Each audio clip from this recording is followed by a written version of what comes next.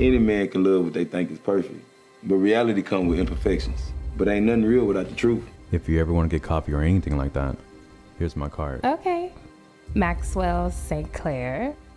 Uh, I might take you up on that offer. I mean, I think it's essential that a man should take care of his woman, especially if she's perfect. Perfect. My little sister.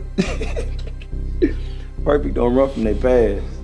Detective Carter was looking for you today. Oh, yeah? Detective Carter. We were actually hoping that we could catch your husband home. What's this about, Detective?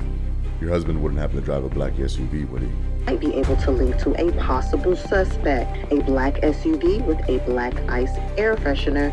Doesn't your Jeep in the garage have a black ice in it?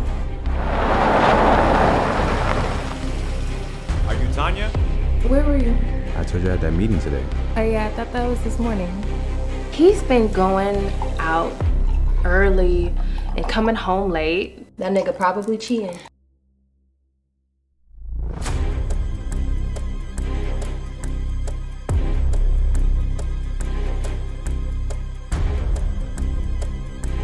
You met a man at a dog park. Tell me you're not calling him first. And then a few weeks later, y'all getting married. What did you think was gonna happen?